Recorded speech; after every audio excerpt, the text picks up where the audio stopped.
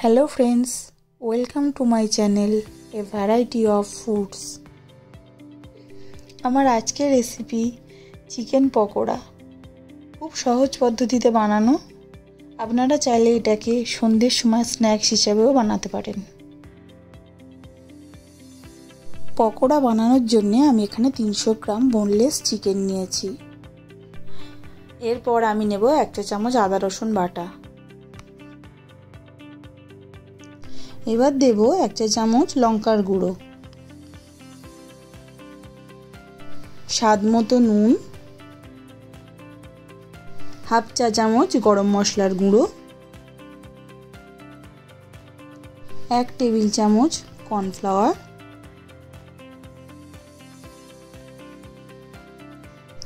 এক টেবিল চামচ ময়দা।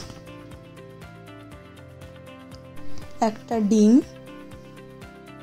ডিমটাকে ফাটিয়ে নেব।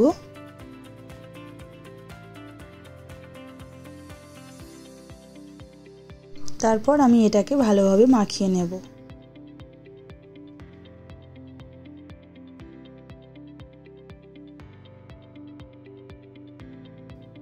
এবার দেব হাফ চা চামচ সয়া সস।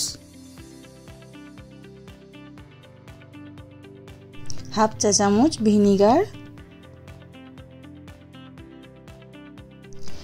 হাফ চা চামচ গোলমরিচ গুঁড়ো।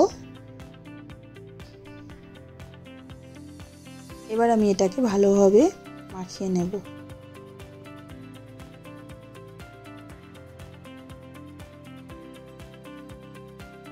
আমার মাখানো কমপ্লিট হয়ে গেছে। এবার আমি এটাকে পনেরো মিনিটের জন্য ঢেকে রেখে দেব। পনেরো মিনিট পর ফিরে এলাম। এবার আমার চিকেনটা পকোড়ার জন্য পুরোপুরিভাবে রেডি হয়ে গেছে। এবার আমি কড়াইতে তেল দেব। তেলটা গরম হওয়া পর্যন্ত অপেক্ষা করব।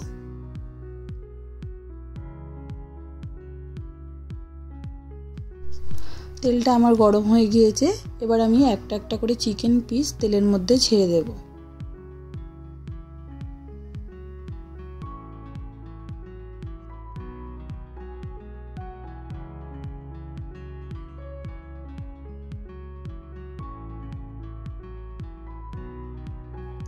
চিকেন পিসগুলিকে উল্টে পাল্টে ভালোভাবে ভেজে নেব।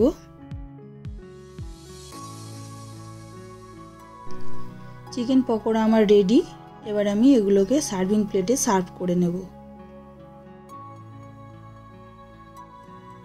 ভিডিওটি যদি ভালো লেগে থাকে, তো অতি অবশ্যই আমার চ্যানেলটিকে সাবস্ক্রাইব করে দেবেন এবং পাশে থাকা বেল আইকনটি প্রেস করে দেবেন। এবং লাইক শেয়ার কমেন্ট করতে ভুলবেন না।